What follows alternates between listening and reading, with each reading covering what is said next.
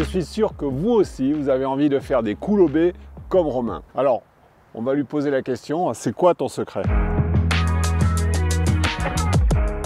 Le flop shop, moi je trouve que ça ressemble vachement à une sortie de bunker et je trouve que c'est un coup que les amateurs jouent trop normalement.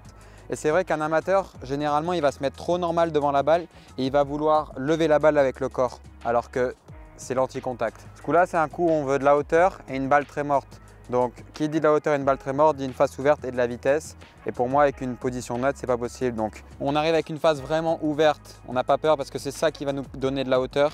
Ensuite, une balle à gauche, t'ancres ton poids ici et ensuite tu t'engages. Et vous l'avez noté certainement, Romain, un petit secret. Comme on veut la jouer comme Romain, on va apprendre ce secret-là. Je crois qu'au niveau de la jambe gauche, tu fais quelque chose d'assez particulier. Ouais, c'est vrai que Bon, il y, a une personne qui a, fait des vidéos comme ça, c'est Alex Noren, qui a montré pas mal de vidéos. Et c'est vrai que moi, j'ai tendance à être dans ces joueurs qui ont un stance fermé pour faire un lob shot ou pour faire une sortie de bunker et non pas un stance ouvert. Ce stance fermé me permet vraiment de sentir ce poids à gauche, cet ancrage et de tourner vraiment autour et de me permettre de finir face à ma cible.